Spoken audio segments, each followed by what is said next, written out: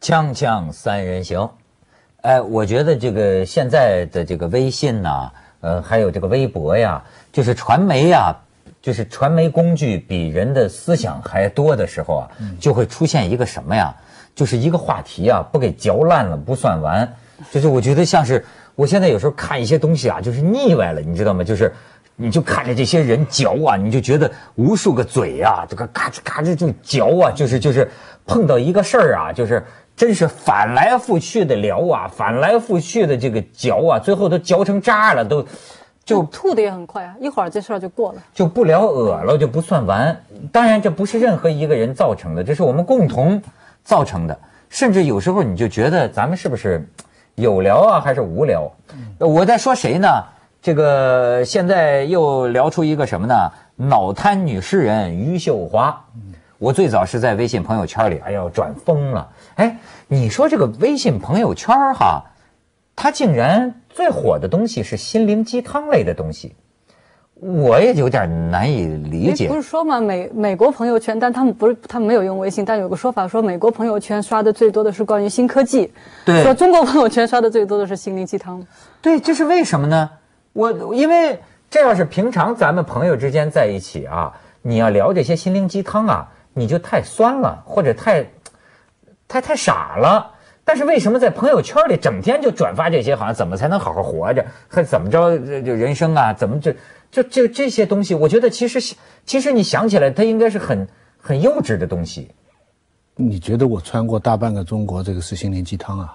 啊！不，我现在说另一件事儿啊，徐老师看来憋足了劲儿我也我也是要讲这个。对，我明白你说的是两个，事情。我我我我我我我我我我讲的是另外的，我就是微信朋友圈里啊转发很多心灵鸡汤类的东西。好，那么我讲另一个事儿，就是这个脑瘫女诗人这个，哎，也未必没有点鸡汤味儿，你知道吗？为什么未必没有点鸡汤味儿呢？就是现在，你看一个开始这么一聊啊，到最后就有人开始批评了。呃，批评有一个旅美的女人，女诗人吧，叫沈瑞，你知道这个人吗？不知道，嗯，他呢，先写了一篇文章，就盛赞，就然后就说这个这个余秀华呀，就是湖北一个村儿的，呃这个这个这个这个农村妇女养兔子的，对吧？然后他就说她是中国的艾米丽·狄金森，艾米丽·狄金森也是有肾脏有病，这个呢，现在有人就说，你在这个诗人前边儿冠以一个脑瘫是什么意思？嗯，就是诗人就是诗人，就是你明白吗？很多人之所以被打动，是因为脑瘫女诗人，你明白这意思吗？就是呃，好比当年我们讲史铁生，为什么你你不写一个瘫痪男作家呢？不是，可是他打动你的不是因为瘫痪呀。我意思说，你看到你也不是因为是脑瘫，你被你被打动吧？不是，这所以都得分开说。现在就有些人就批评，认为啊，我们不要太多的把一个人的这个身体的某种病，或者是某种残疾。和他的，比如说，你难道弄个什么这个瘸腿歌手？呃，老是说，这玩意儿最跟当年的选秀节目都有关系。好像一个人呐，有点有点残障，他就更加增加了引起我们注意或者感动的价值似的。那时候拿残障来做戏的是有一年的春晚，说是一对越自越反击战，啊有一个人打了残障了上来，大家很感动。当时我就说不出来的一个 就是不舒服，我当时还讲不出来。我这个，我觉得我也我我就也很佩服他，人家英雄。但我总觉得就是这么一个残疾拿出来秀爱国什么什么，我当时有点不大舒服。所以我现在特别反感称这个余秀华是脑瘫诗人，我觉得他就是一个诗人。嗯。对，呃呃，中国的文学现在非常边缘化了，嗯，但是我们是一个诗的国度，这个诗的国度体现在网络上时不时有关于诗的讨论。你看这些年哈，常常什么羊羔体啊，什么呃呃呃呃梨花体啊，嗯，对不对？王兆山的那个做鬼也风流啊，前一阵周夏，但是这些网上走红的这些拿出来的诗啊，都是被拿出来晒着当奇葩，嗯。很多人都是不满啊，这样也算，这样也是鲁迅讲，这样什么什么，但这次不一样啊，这次我看这个大部分人，呃，读到他的诗，单一个题目就被打动啊，就是这样。我觉得，我觉得我们现在，呃，当然了，人家读了他的诗以后，再知道他的身世，再知道他的故事，会加倍的理解他诗的内容。但是我作为一个文学爱好者吧，我觉得他的诗是有本身价值的。哦，我觉得对这个标签啊，他自己对这个标签是最烦的。我看到有有有就有一些跟他有呃这个采访嘛，他自己就说人家给我贴了这个标签那个标签啊，他自己觉得跟他的诗都没有关系了。但是我又想说一句啊，其实我觉得对标签这个事情不用太在意，因为你现在啊说说实话，就您说经常有人来讨论诗，但是恰恰很多时候现在写诗的人也少，读诗的人更没几个，对吧？那有些人为了要传播。你怎么样可以吸引到你去点呢？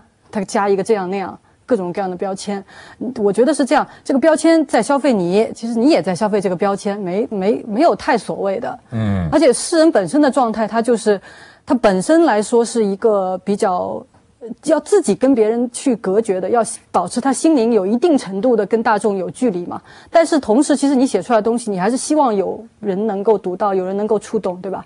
所以这东西你我就不用太介意。这个好像这个呃，让我惊讶的是啊，这个余秀华从他写的这个诗啊，或者什么日呃笔记里边看呢，他倒没有膨胀到一个。不知所以，当然没有。对他倒是对外界的这种注意啊，他还甚至甚至觉得应该留给我一方写诗的清静，而且那意思就流露出我写诗是为了我自己，跟你们本来也没什么关系，你们都跑到我这儿来，哎，这也就是一个现代传媒故事。你看，我觉得可乐的是这几天，哎呀，我觉得他可以促进他们这村的旅游业了。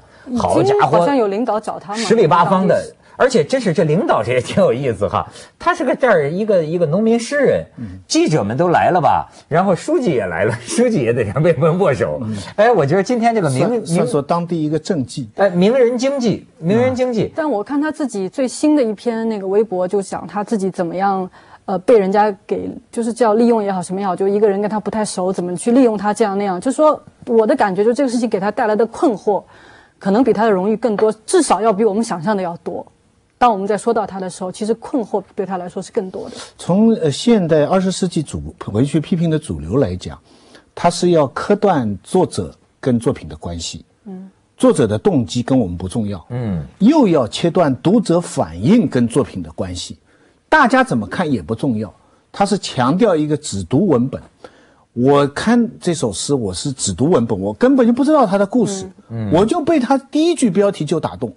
我穿过大半个中国去睡你啊！我穿过大半个中国去睡你，这是时代的声音啊。嗯，这个是呃，我在《纽约时报》上看到一篇评论，说余秀华失明穿过大半个中国，写的是新史，我们北京的新文学史料的主编，嗯，我还认识，嗯，他就把他跟五四以来很多的这种。当时大家不能理解的这些句子，但事后会被这，比方说最初的那个“两只黄蝴蝶双双飞上天”，啊，我们现在看到很嫩，可是胡适当时用来证明，呃，白话可以写诗。很我很喜欢的一个诗啊，这个这个汪静之啊，呃，我冒犯所有人，一步一回头，瞄我意中人。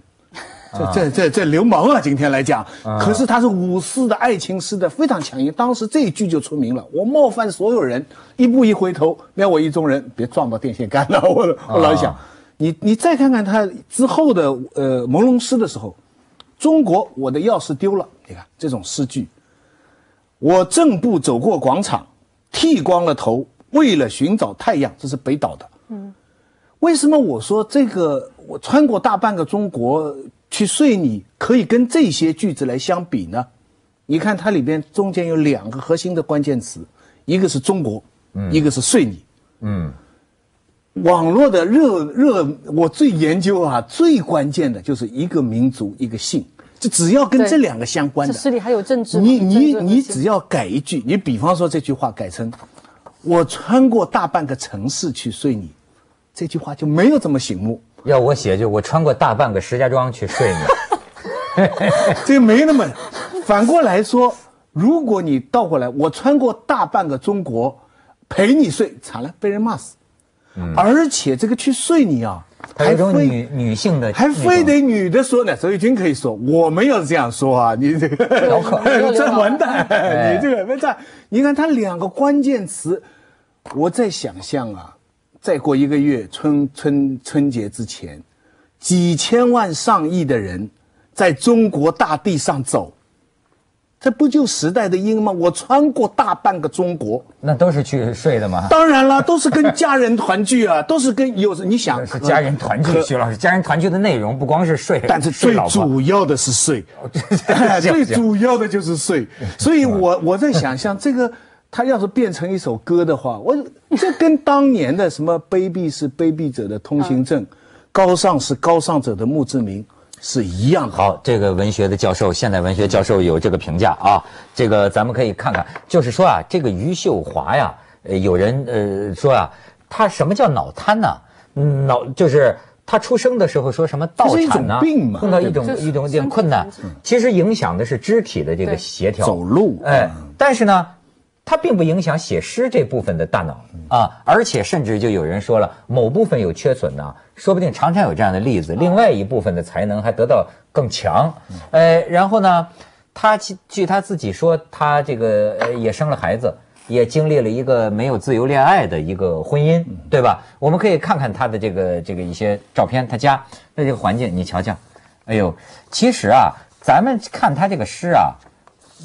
就是你知道吗？有点不像这个浮华年代里的城市人写的东西。嗯他就是这个很重要他有他的一种质朴，自己呃，我我我叫什么？我口说我心呐，有他的一种一一种朴实。你看他这个，这是他的家，这是他的家，他养兔子，哎，发现一个很奇特的，好像记者一来就死兔子，不知道怎么回事。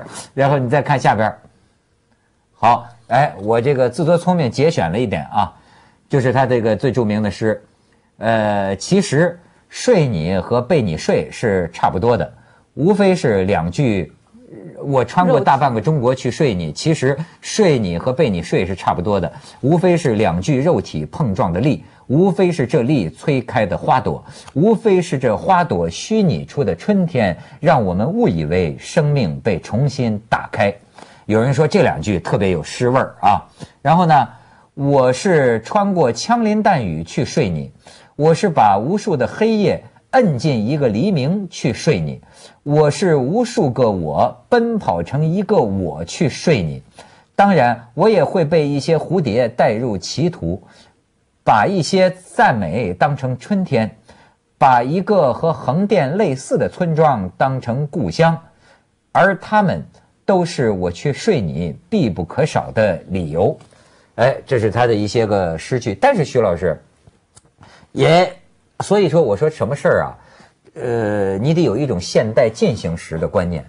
哎，我现在经常想，在今天的这个这个每天微博滚动聊天的时代啊，经常会出现毛主席说的那句话：事情起了变化。